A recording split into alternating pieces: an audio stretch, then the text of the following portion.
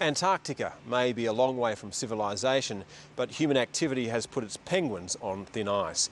Overfishing, melting sea ice, and pollution are threatening these iconic creatures, which have so far managed to thrive in the world's harshest conditions. But one species is faring better than most, and researchers are using them to find out what's changing in this vast and fragile ecosystem.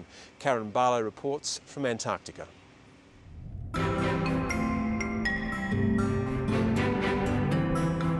It is hard not to fall for Adelie penguins. Their charm, playfulness, and fearlessness will melt the coldest heart, and that affection appears to be returned. It's nesting season for the Adelie penguins, but the ones out here are foraging for food. They don't really see humans that much, so they're interested in us, they're intrigued by us, they'll come up close to us and look at us, they'll look at what we're doing, and um, that's wonderful. For biologists, having a research subject that doesn't flee on approach is certainly a bonus.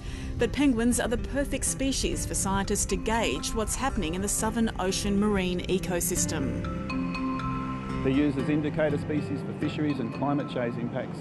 And if we understand the impacts of these kinds of processes from year to year or from place to place, the impacts of different sea ice uh, changes on their breeding success, then we'll be able to predict forward on what kind of changes um, in sea ice will have on penguin populations in the future under changing environments. There are dire predictions for some penguin species. Of the 17 types of penguins, some, like the African and Galapagos penguins, are classed as threatened or vulnerable. And according to a climate model study by the private Woods Hole Oceanographic Institute, emperor penguins could be virtually extinct by the end of the century. Generally, penguin populations on the Antarctic Peninsula below South America are decreasing, while Adelie numbers in East Antarctica below Australia are on the rise.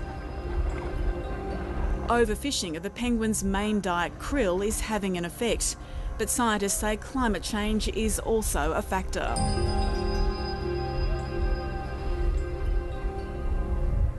Breeding phenology has changed for animals all over the world in relation to climate change. We know that Adelie penguins have shown differences in breeding phenology on the Antarctic Peninsula.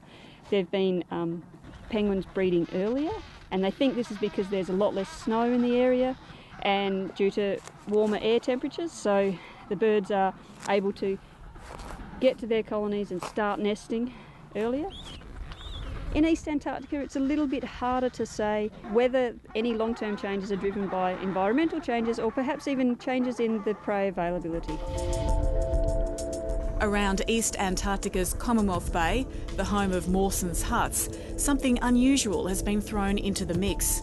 The large remnants of the giant iceberg B9B are grounded in the area and have encouraged a vast expanse of ice to grow out from land. There's fast ice going out to 10 miles from the breeding colonies, so the penguins have to travel a lot further to get to their foraging grounds than they would normally. The longer on the ice, the less time the parents have with their fledglings, and it reduces the amount of food which can be brought back to the pebbly nest. But there are longer term losses in sea ice here that have been monitored since the 1950s. Penguin biologists Colin Southwell and Louise Emmerson are the first to survey the penguins at Commonwealth Bay since 1982. They want to see how the Adelie population has changed in 30 years.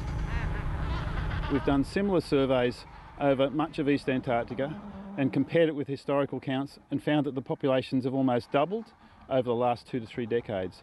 So we're seeing a very major signal from through penguins from the marine ecosystem and we're trying to understand what might be causing those changes. First impressions from Commonwealth Bay are there are fewer chicks in the nests, and that's likely to be related to the presence of fast ice.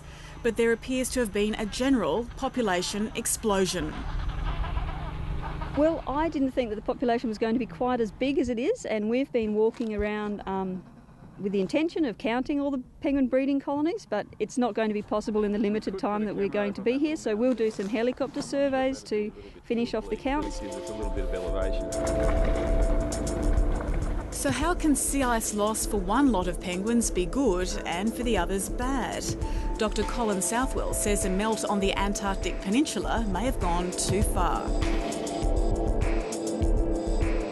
Over there, the sea ice is also declining, but at a greater rate than in eastern Antarctica, and that appears contradictory or paradoxical. But we think that perhaps the sea ice is above the optimal levels for Adelie penguins in East Antarctica, so that a reduction in sea ice might actually be beneficial. It's one of the things we're trying to find out. Two days of ground and aerial counts won't be enough for the penguin biologists. The team has set up a solar powered camera to keep track of the lives and loves of the Adelies of Commonwealth Bay. Adelie TV may not be there for the ratings, but it may be the best picture yet of a changing continent. Karen Barlow reporting there.